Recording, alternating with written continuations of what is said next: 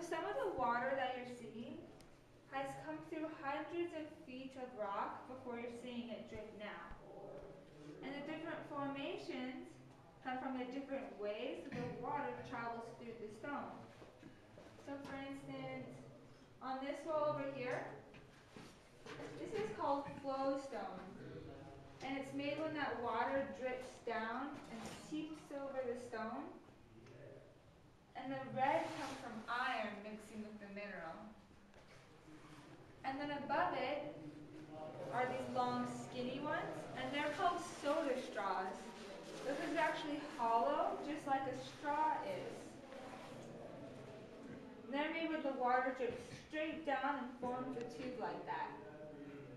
On the other side, you can see the ones we've been talking about.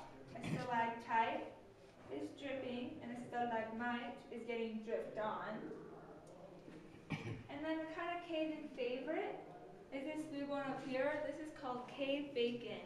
and it's made when the water goes down a slanted angle like that so many times that it creates a sheet.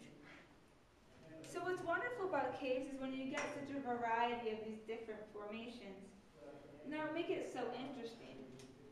One of the most interesting formations to me is this one above our heads.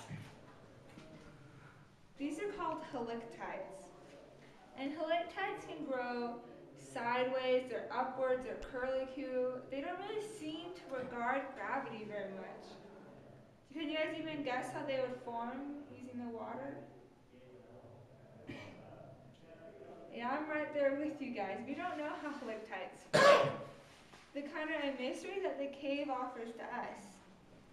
Um, we have different theories about how they might, but we can't really explain why a curly one will grow right next to a straight one. It doesn't make very much sense. And they grow so slowly that it's hard to record how they do. Many caves in the world will have some helictites, but very few caves have them in the same quantity that we do.